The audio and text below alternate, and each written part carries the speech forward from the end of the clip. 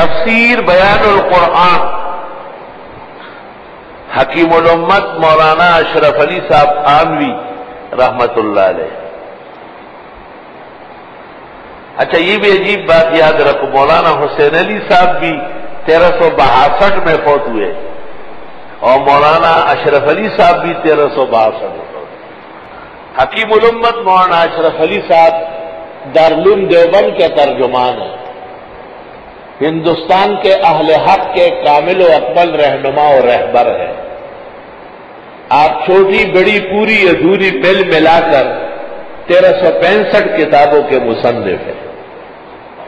आपकी ज़िंदगी बड़ी बरकत की ज़िंदगी है। आप देवबंद के अव्वलीन फजला में से आपके उलूम और आपकी तहकीक पर हमेशा एतमाद किया गया है। आपने तफसीर बयान कुरान इस शान से लिखी है कि इस आजिज और फकीर को उस पाए की तफसीर न अरबी में मिली और न फारसी में मिली।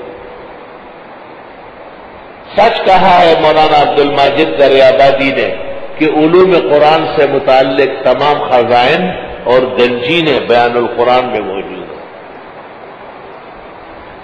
आपने उलूम कुरान और तफसीर बयान कुरान से मुतालिक सत्रह रसाले लिखे हैं।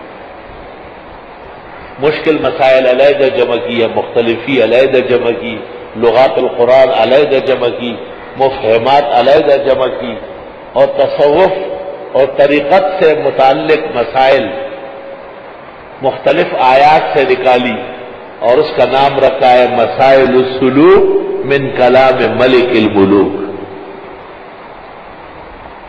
मसाइल सलूक मिन कलाम मलिक मुलूक कुरान के किन किन आयात से तसव्वुफ का कौन कौन सा असल और फरा निकलता है?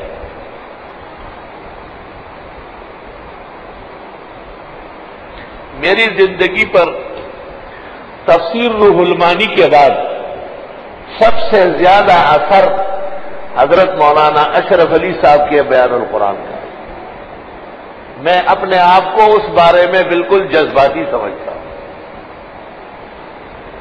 और मैं अक्सर व बेशतर ख्वाब में भी बयान कुरान मुताले करता हूँ।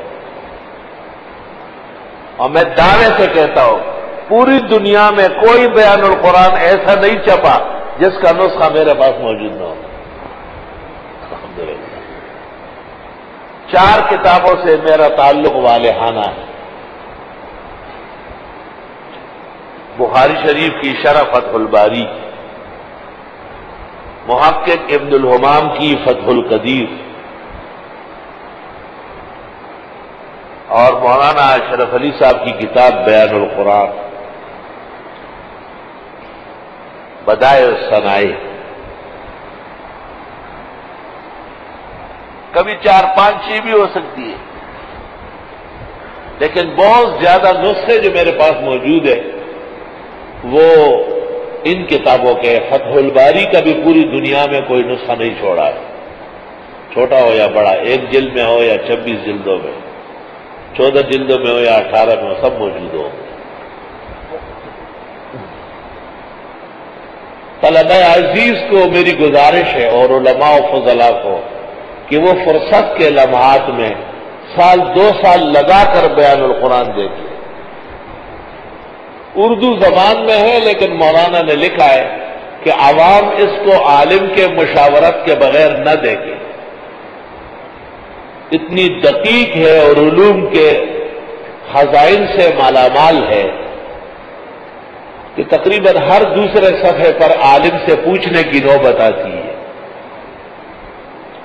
जिस तालब इलम ने मेबजी शरहकायद हिदाया आखिरैन और बुखारी और तिरबीजी शौक से पढ़ी हो, समझ के पढ़ी हो।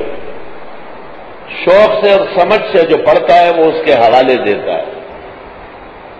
वो बयान कुरान बगैर उस्ताद के देख सकता है। छह किताबें मेबजी और शरा कायद बेहतरीन पढ़ने वाले। हिदय आखिरैन।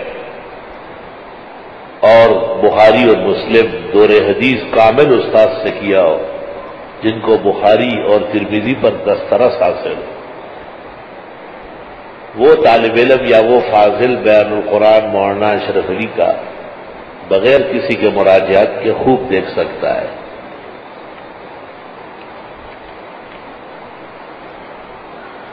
अगर मुझसे कोई पूछे कि बेहतरीन ज़िंदगी आला सेहत और उमदा इस्तेदाद और फुर्सत के लम्हात का क्या शुक्र किया जाए?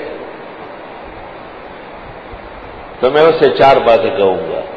कुरान करीम खूब पढ़ता रहे, यहाँ तक याद हो जाए। बुखारी शरीफ फतहुलबारी समेत बार बार देखे। और सिका की तीन किताबें मफसूत सरस्ती बदाय सनाए या फतहुल कदीर इब्नुल हुमाम। और अगर ये तीनों नहीं तो फताव शाम बिल इस्तियाब देखें। और बयान और कुरान को अपने सरहाने से, सामने अलमारी से, सफ़र और हजर में हटाए नहीं। साथ रखिए हटाने से अध्यक्ष आए कि रूह इलम चली जाएगी। हकीम उलम्मत मौलाना अशरफ अली साहब की बहुत सारी किताबें हैं, लेकिन चार किताबें उन्हें क्यामत तक ज़िंदा रखेगी। उनमें अव्वल नंबर बयान कुरान है। दूसरी अतकशफ है। तीसरी इसलाह इनकलाब उम्मत है। और चौथी बवादर और नवादिर है। बवादर और नवादिर उर्दू जबान की बदाय सनाए अगर किसी शख्स के दिल में मौलाना अशरफ अली की इज़्ज़त या आजमत नहीं है तो इन किताबों में से कोई किताब उसने देखी नहीं। वो देखने के बाद अगर वो इंसान है और इंसानों से पैदा हुआ है और वो रोटी सालन खाता है, घास नहीं खाता।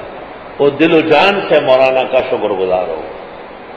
और अपनी उस ज़िंदगी पर फखर करेगा जो उसने मौलाना अशरफ अली की इन किताबों के देखने में गुजारी। और अल्लाह के तोफीक का बार बार शुक्र करे। मैं जो अपने कीमती लम्हात सोचता हूँ तो मैं खुश होता हूँ कि मेरे कुतुबखाने में, मेरे घर में, मेरे इदारे में, मेरे मुताले में बयान कुरान जैसी तस्वीर है। और अगर मुझसे कोई पूछे कि देवबंदियों के अहल हक होने की क्या दलील है तो मैं दो आदमी पेश करूँगा। रसूख में और तबाखुर में इमाम असर, मौलाना अनवर शाह। और अवामी इसलाह में हकीम उलम्मत मौलाना अशरफ अली और उनकी तफसीर बयान कुरान।